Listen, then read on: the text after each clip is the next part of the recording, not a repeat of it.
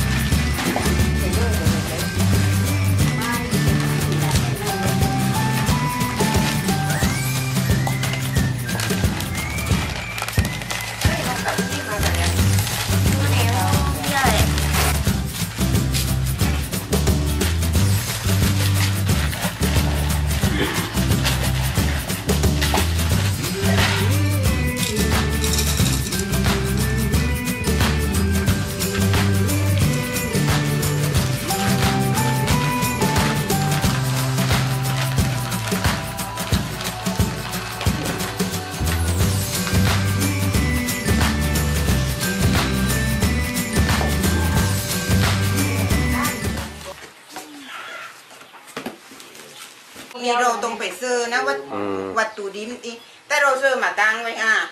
กล้องเราตายตัวแต่พอลูกค้าสั่งปุ๊บนี่เราเรา ก็ไม่ต้องกัดก้นแล้วแต่ว่าคือพอปลอกตัวนั้นมันบางทีกลิ่นเลยของเรามันติดแต่ที่เราก็เลยเออเจียไปน้อยน้อยๆพออยู่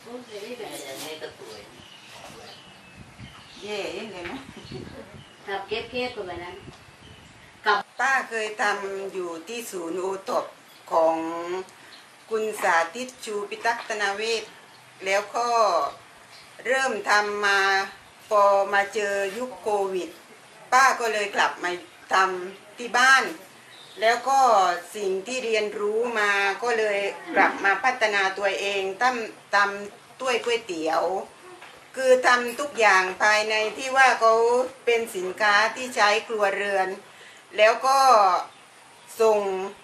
ถ่ายรูปแล้วก็ส่งให้ลูกค้าดู แล้วลูกค้าก็ตอบโจทย์มาสั่งออเดอร์ เราก็ทำตามออเดอร์ที่ลูกค้าต้องการ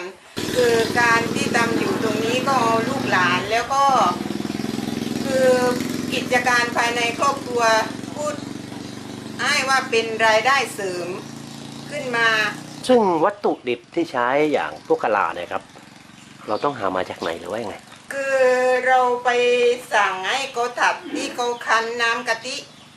แล้วก็ตัดตามแบบที่เราต้องการ เราก็ไปซื้อเขามา เพื่อเอามาทำเป็นรูปแบบต่างๆ ที่ลูกค้าต้องการค่ะ ครับอย่างอันเนี้ยครับต้องใช้เวลานานไหมครับกว่าที่จะก็ทำไปแต่ละใบตามขั้นตอนที่ขัดนะ ตั้งแต่เชียร์ขนออกแล้วก็ลง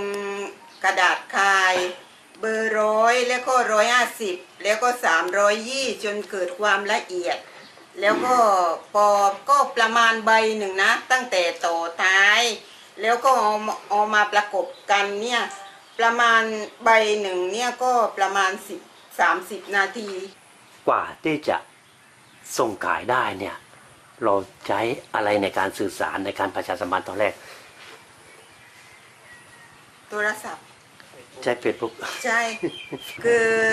ส่งภาพแล้วก็ถ่ายถ่ายถ่ายตามละขั้นตอนตามระแบบ